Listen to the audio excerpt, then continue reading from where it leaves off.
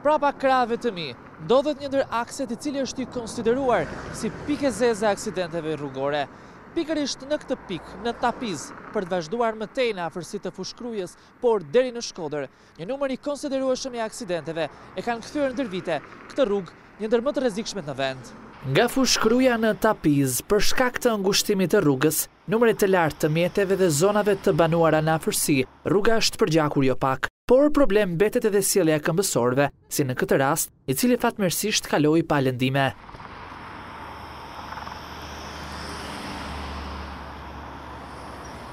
Kjo rrugë dytësore, e cila shërben për të dalë nga fshati i Bubqit dhe fshatrat përreth dhe që lidhet direkt me urën e Gjolës, është një tjetër pikë e zezë e aksidenteve.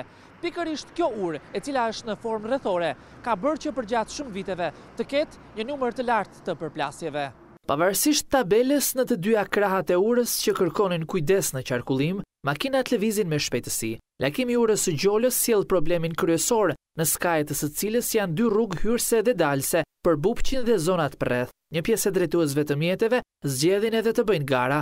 Nga ura e Gjolës në drejtim të Vorës është e pamundur të mos ndodhë aksident, si ky që po tregojnë këto pamje. Përplasja në këtë rrugë ndodh çdo ditë.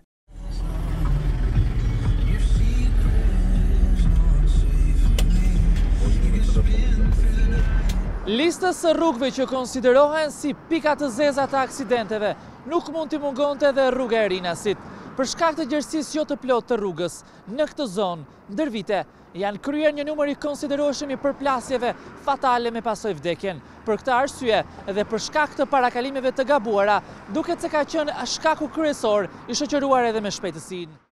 Parakalimi shpeshherë mbetet tentativë për shkak të rrugës së ngushtë. Aksidentet e rënda me humbje jete këtu janë të zakonshme.